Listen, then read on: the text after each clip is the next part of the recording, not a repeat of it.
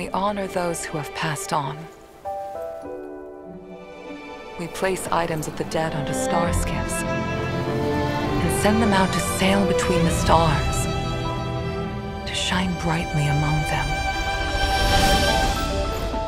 them. Before you leave, please make time to recuperate. I must attend to some Cloud Knight matters.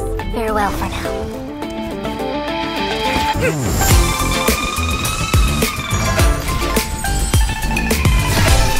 Things in this world have their laws.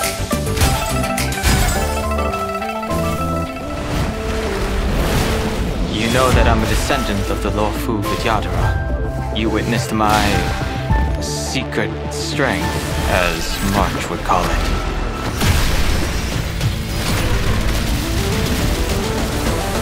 As you can see, we added a few things to this simulated universe. Stephen Lloyd thinks this is a big achievement.